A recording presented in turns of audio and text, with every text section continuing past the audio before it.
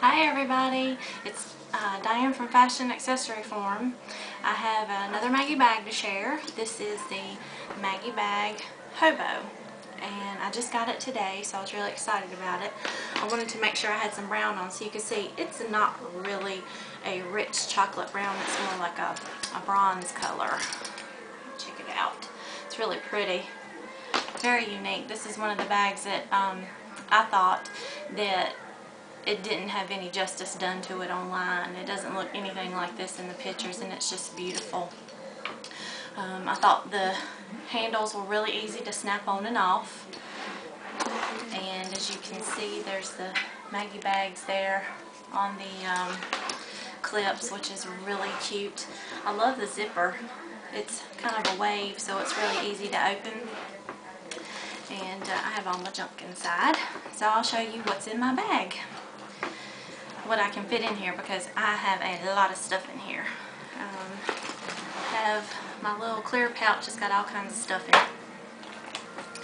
I have my planner. We have my wallet, which is a Vera Bradley and the Purple Punch. Cell phone. Pencil. Or ink pen, rather. Lip gloss and hand sanitizer, which were in the pockets. A nail file, which this come as a gift from Cindy, and I love it, so thank you. And I have in here a coin purse, which actually has my iPod in it. I don't go anywhere without that. Spare keys. These are my work keys. I keep those in there all the time. Medicine bottle. And receipts. Should have had those in a, my planner, but oh well. So this is what all the hobo fits. It holds a lot. Um, beautiful purple interior, as usual. Has a zip pocket in there, the uh, same as before, the two pockets and then the little pin pockets, or as Cindy noted today, it could be used for lip gloss. The feet on the bottom, which again, my favorite part of the bag, and uh, I really like this one because it's really wide at the top and then it narrows at the bottom, and you can fit a whole lot of stuff in here. I still have room for more if I needed to carry more. Um, this is one of my favorites. Everybody should get one of these. If they're torn, don't know what to get, um, I think everybody should go to fashionaccessoryforum.com, look at all of our reviews, and go from there.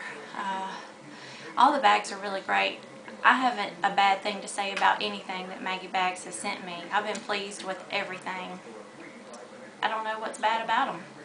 Um, if you don't know, if you've never heard of Maggie Bags, you can go to maggiebags.net, www.maggiebags.net and check them out. These are seat belts. Um, they're made from recycled seat belts, the ones that don't go into your cars. They, uh, instead of going into the landfill, they make handbags out of them. Um, I'm really looking forward to the clutch and hopefully some accessories will be coming out soon too. So um, keep on the lookout for these items. Thank you.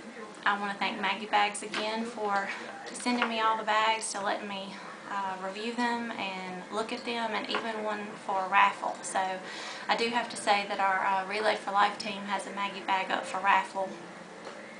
And if you're interested, the tickets are a dollar, and our raffle is going to be next Saturday, next Friday, June the 12th. So I'm really excited. I can't wait to see who wins it because that's our hot ticket seller.